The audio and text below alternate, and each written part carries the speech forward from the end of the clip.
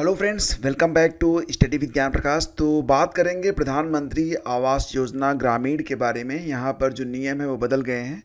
अब कई लोग ये कमेंट करेंगे कि, सर एजुकेशनल चैनल पर आप प्रधानमंत्री आवास योजना के बारे में क्यों बता रहे हैं? तो बता इसलिए रहा हूँ क्योंकि आप एक पढ़े लिखे व्यक्ति हैं।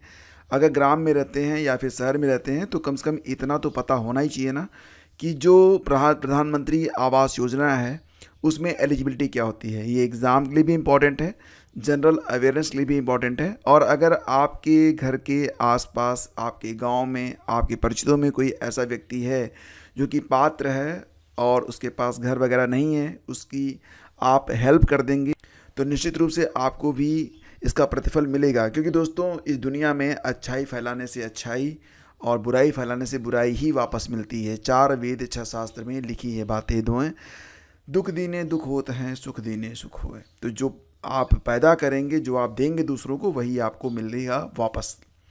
तो बात कर लेते हैं प्रधानमंत्री आवास योजना ग्रामीण के बारे में।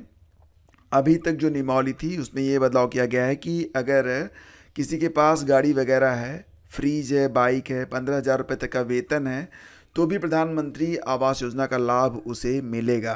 प्रधानमंत्री आवास योजना ग्रामीण की पात्रता सूची के नियमों में बदलाव किया गया है। तो क्या बदलाव हुए हैं? आइए एक बार देख लेते हैं। अच्छा तो देखो, मकान बनाने के लिए तीन किस्तों में मिलते हैं। एक लाख बीस हज़ार रुपये चालीस हज़ार रुपये की पहली किस्त आती है। फिर ये देखा जाता है कि आपने कितना काम किया। उसके बाद दूसरी किस्त आती है, फिर तीसरी किस्त आती है। तो शासन के नए नियमावली के अनुसार सर्वे भी शुरू कर दिया गया है। जो भी इस योजना के पात्र लाभार्थी होंगे, उन्हें आवास की धनराशि दी जाएगी।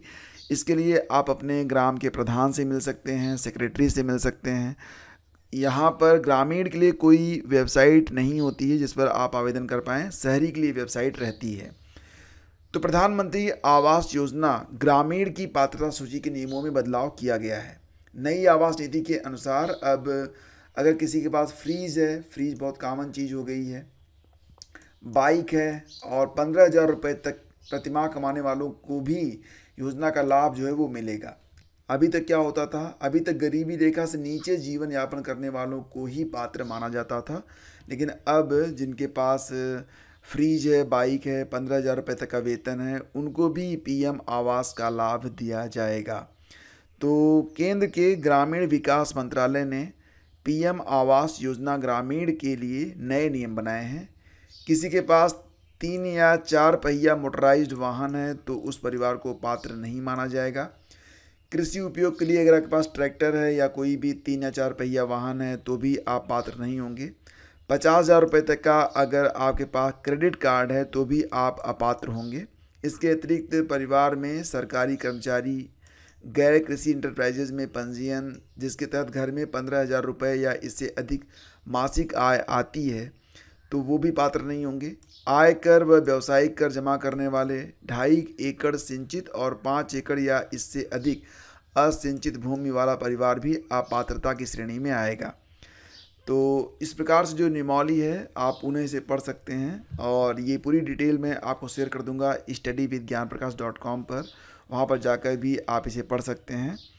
तो फ़िलहाल अब जो सर्वे है, स्टार्ट कर दिया गया है और इसके लिए टीमें भी बनाई गई हैं, जहाँ पर जो सेक्रेटरी हैं, अकेले हैं, अगर उनके जिम्मे कई गाँव हैं तो वहाँ पर वो अन्य मतलब जो सहायक कर्मचारी होंगे, उनकी हेल्प लेंगे। पाँच वर्ष का विस्तार दिया गया इस योजना के अंतर्गत। 2011 के सामाजिक और आर्थिक सर्वे और 2019 के आवास प्लस की सर्वे सूची में नाम होने के बाद भी लाभ पाने से वंचित रह गए लोग भी अब लाभान्वित किए जाएँगे। तो निश्चित रूप से ये जो योजना है, ये एक तरीके से अमृत योजना ही है, क्योंकि बहुत सारे ऐसे लोग जिनके पास आवास नहीं है, उनको आवास मिल जाता है और ये बहुत ही अच्छी बात है। तो फ़िलहाल फ्रेंड्स, ये जानकारी आपके लिए काफ़ी अहम है। इसे लाइक और शेयर ज़रूर कीजिएगा। आपका बहुत बहुत धन्यवाद। Thank you.